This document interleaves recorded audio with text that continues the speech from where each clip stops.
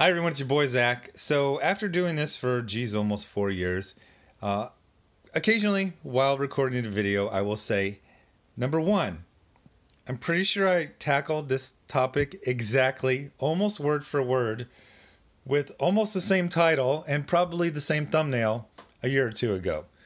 Or even worse, and I did a video on this subject and I said the exact opposite uh, in a video before and uh, I kind of did that. So I did a video the other day uh, where I was talking about how you know it's uh, SJWs have been in charge for about six years now, and they have no classics uh, to show for it. To which people said, "What about Wicked and Divine and Saga?" And then I looked it up, and I literally have a video titled like, "These are the only SJW classics." Uh, but I was reminded of this while talking to uh, someone and they brought this up and i said yeah that's a common thing for people to bring up which i actually brought it up like two years ago. But then uh, i thought about it some more and i think they don't because as time goes by we are redefining or at least uh, narrowing what a social justice warrior is. It doesn't mean liberal. Not it doesn't mean liberal at all. It doesn't even mean progressive. Um, and i eventually came to a very very simple conclusion you can tell if something is SJW or not, a book, whether you are allowed to like it or not. If you saying, I don't like this book, gets you labeled by the creators or whoever as some sort of isterphobe, that's how it's SJW. SJW books have an element of coercion, of social pressure, of emotional blackmail. Any book that you're allowed to like or not like is not SJW. They do some kind of traditional SJW things in Saga. You have the uh, protector woman and then the nurturer father, uh, things like that. I mean, I still, uh, to this day, every couple weeks, somebody will comment on a video from four years ago where I uh, reviewed. It was the characters from Saga went to Abortion Town.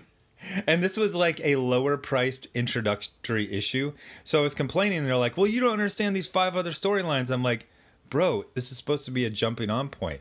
It should be very easy to understand, oh, or they should explain those plot points."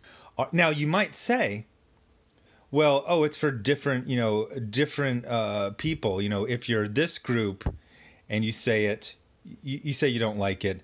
But uh, I've talked to so many black creators and fans, and they talk about the awkwardness of you know going to a convention and you got someone there and they're selling you know Captain Blacktavius Africa Man, and even as a black person, they are forced to like it. But there's a pressure. There's a basically a coercion, a pressure to like all forms of uh, SJW content.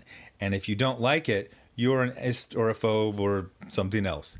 Um, but then uh, I was talking to someone, and it was a creator, and they were talking about the uh, the real pitfall of this is that you can now have an entire generation of creators who, when their book is failing or failed, or when it is criticized, instead of looking at themselves and looking at the work and saying, "Oh, I did something wrong. I could have done this," they just go, "Oh no, um, the customers are bigots." So, yeah, not really my fault. SJW content hurts everyone. For consumers, you get defamed if you say you don't like something.